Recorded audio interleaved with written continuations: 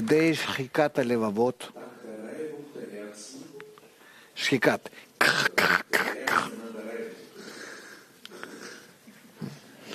שכל אחד זה אבן, לב האבן.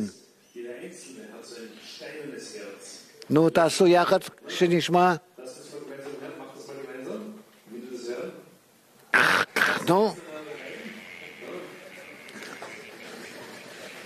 Lass das על ידי זה גם כן עד כדי כך צריכים לשפשף ביניהם, בין הלבבות, שיצא חום. אתם מבינים איזה, עד כמה שזה לא נעים. ודווקא מתוך זה נולדת אהבה.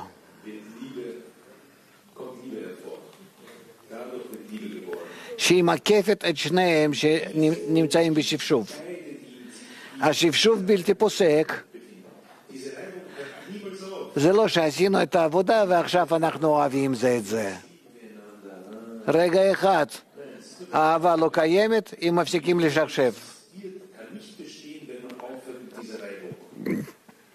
האהבה הזאת עוקפת את שניהם, שני לבבות האלה שכל הזמן נמצאים בשפשוף, תופסת אותם, עוקפת אותם יחד, עוטפת אותם.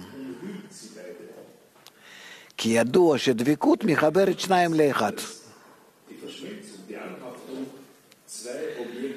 וכל אחד שהוא מתחיל להרגיש שחברו אוהבו, מתמלא בשמחה ותענוג. ועוד תוצאה אחת. לא יכול לדאוג יותר לעצמו. בהכרח. זאת אומרת, אם אני רוצה להתפטר מהאהבה העצמית, לא לחשוב על עצמי, אני לא יכול לעשות שום דבר רק אם אני ארגיש שחבר אוהב אותי.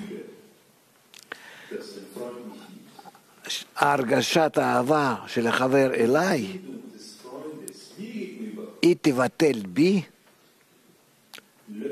את האהבה העצמית, שאני לא יוכל יותר לחשוב על עצמי. ברור?